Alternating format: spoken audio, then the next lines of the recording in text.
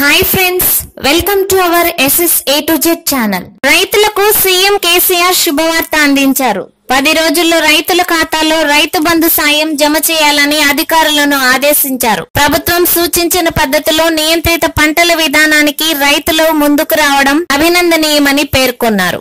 రైతుల నుంచి తమకు వందకు వంద శాతం మద్దతు లభించిన ముఖ్యమంత్రి కేసీఆర్ పేర్కొన్నారు. రాష్ట్రంలో రైతులందరూ ప్రభుత్వం సూచించిన మేరకు నియంత్రిత పద్ధతిలోనే పంటల సాగుకు అంగీకరించి దాని ప్రకారమే పంటలు వేసుకోవడానికి సిద్ధం కావడం హర్షణీయమని సీఎం అన్నారు. రైతాంగం నియంత్రిత పద్ధతిలో పంటల సాగుకు సిద్ధమైనందున వెంటనే వారికి రైతు బంధు సాయం అందించాలని అధికారులను ఆదేశించారు. ఇప్పటికే వ్యవసాయ పనులు ప్రారంభమయ్యాయని రైతులు పెట్టుబడి డబ్బుల కోసం ఇబ్బంది పడకుండా చూడాలని సీఎం కేసీఆర్ నిర్దేశించారు. వారం పది రోజుల్లోగా రైతు బంధు సాయాన్ని రైతుల ఖాతాలో జమ చేయాలని కేసీఆర్ ఆదేశించారు. యాసంగిలో ఏ పంటలు వేయాలో రైతులకు నిర్దేశం చేయాలని విత్తనాలు అందుబాటులో ఉంచాలని సూచించారు. మార్కెట్లో డిమాండ్ కలిగిన పంటల్ని వేయడం ద్వారా వ్యవసాయాన్ని లాభసాటిగా మార్చడమే లక్ష్యంగా ప్రభుత్వం నియంత్రిత సాగు విధానం ప్రతిపాదించిందని సీఎం వివరించారు. నియంత్రిత పంటల సాగు విధానం అమలు రైతు బంధు పథకాలపై ముఖ్యమంత్రి కేసీఆర్ ప్రగతి భవన్లో సంబంధిత అధికారులతో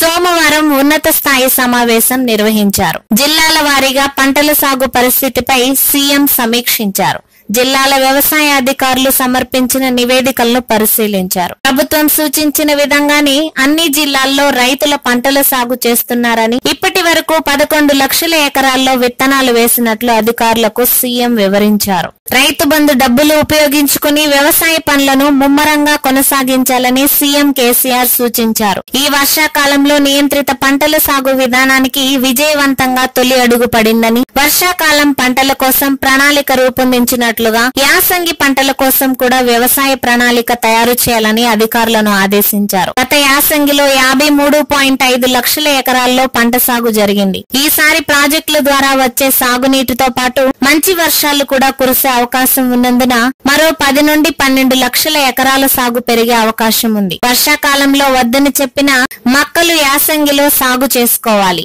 నలభై ఐదు లక్షల ఎకరాల్లో వరి ఆరేడు లక్షల ఎకరాల్లో మక్కలు నాలుగు లక్షల ఎకరాల్లో శనగలు ఐదు లక్షల ఎకరాల్లో వేరుశెనగలు లక్షన్నర ఎకరాలలో కూరగాయల సాగు చేసుకునేలా ప్రణాళిక సిద్ధం చేయాలి. దీనికి సంబంధించిన విత్తనాలను కూడా అందుబాటులోకి తేవాలి. వరిలో సన్న దొడ్డు రకాలను కూడా రైతులకు సూచించాలి. ఇతర పంటలకు సంబంధించిన విత్తనాలు మార్కెట్లో లభ్యమవుతాయి. వేరుశెనగ శనగ విత్తనాలను వ్యవసాయ శాఖ సిద్ధం చేయాలి. నియంత్రిత పంట సాగు విధానం అంటే ఇదే. ముందే ప్రణాళికలు సిద్ధం చేసుకుని దానికి అనుగుణమైన ఏర్పాట్లను ముందుగానే చేసుకోవడం అని సీఎం కేసీఆర్ వివరించారు. సో ఇది ఫ్రెండ్స్ ఇవాళ వీడియో. ఈ వీడియో నచ్చినట్లయితే లైక్ చేయండి మీ ఫ్రెండ్స్ అండ్ ఫ్యామిలీ మెంబర్స్లో ఎవరికైనా యూజ్ అవుతుంది అనుకుంటే వెంటనే షేర్ చేయండి. ఈ వీడియోపై మీ అభిప్రాయాన్ని కామెంట్ రూపంలో తెలియచేయండి. అండ్ మన ఛానల్ని ఇంకా ఎవరైనా సబ్స్క్రైబ్ చేసుకోకపోతే వెంటనే సబ్స్క్రైబ్ చేసుకొని పక్కనే వచ్చే బెల్ ఐకాన్ పై క్లిక్ చేయడం మాత్రం మర్చిపోకండి ఫ్రెండ్స్